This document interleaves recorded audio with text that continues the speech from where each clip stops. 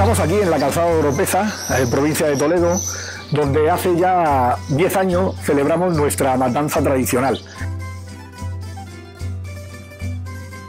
La celebramos en homenaje a todas las familias que desde tiempos inmemoriales eh, han hecho sus matanzas tradicionales en, este pueblo.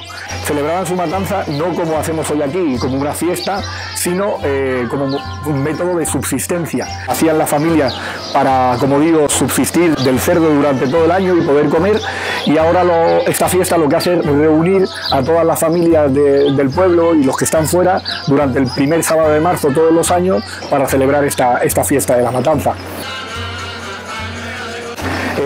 El desarrollo de la fiesta em, comienza los días previos y empiezan a preparar la matanza, empiezan a preparar las migas, empiezan a preparar eh, todo lo que se necesita para hacer la judía, eso los días previos a la matanza.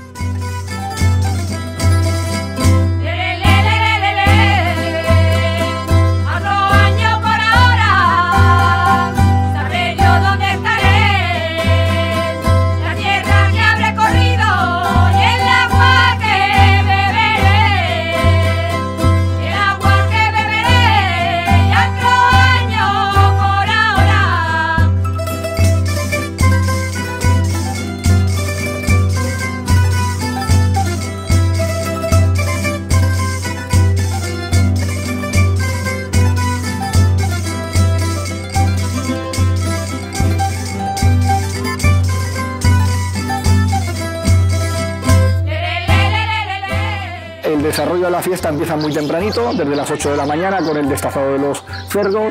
A las 9 de la mañana comienzan a repartirse migas con chocolate y aguardiente para todo el público.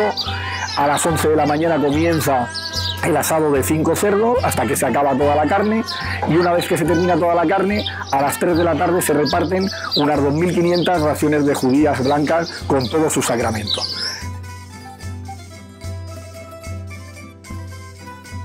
Por la tarde también hay un corte, una demostración de corte de jamón eh, y degustación de ese jamón que se corta. Se cortan 10 jamones que se reparten entre todo el público y para terminar se reparten unos 2.000 bocadillos, 1.500, 2.000 bocadillos de eh, diverso, diverso tipo de embutidos.